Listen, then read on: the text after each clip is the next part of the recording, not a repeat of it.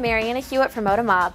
All eyes were on Beyonce during the Super Bowl halftime performance, and she was the most tweeted about topic during the game, and her killer costume was a huge reason why. We were lucky enough to talk to the man behind the outfit, Rubin Singer, in this segment's featured designer. This week might be the first time you heard of New York-based designer Rubin Singer, but he was born and bred for a life of fashion. Alec, Rubin's father, created costumes and he tells us how his upbringing influenced him as a designer. Quote, my father Alec, who I learned everything from, I've been around him and fashion my whole life. Everything I do is kind of in subconscious way or one way or another influenced by everything I saw as a child.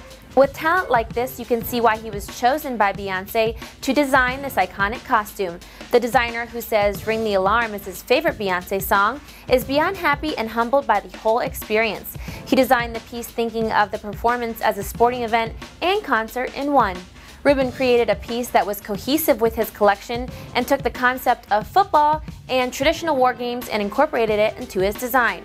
The concept worked so well because football is an aggressive game, and he says, quote, she wanted to give an aggressive performance, and I wanted to do an aggressive costume. So how involved was Beyonce in the design process? Rubin tells us she was very involved and that Beyonce is such a professional and a perfectionist. The concept for the design came from a social warrior and how that woman takes what is hers and conquers what is not. To make sure there was no Janet Jackson slip-ups, they gave a great level of attention to make sure everything was covered up, and they even had to have the costume approved by the NFL before the show.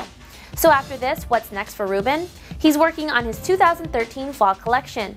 You can expect to see a strong female figure that is very dark with a late 1930s German influence. The woman will be very sensual, bohemian, and all pieces are about making a woman feel beautiful.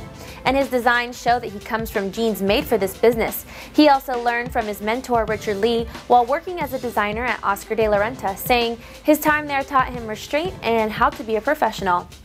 And is Rubin going to be designing pieces for the upcoming Mrs. Carter tour? We'll just have to wait and see. For the full interview with Rubin Singer, go to modamob.com, and for more information on his pieces, check out rubinsinger.com.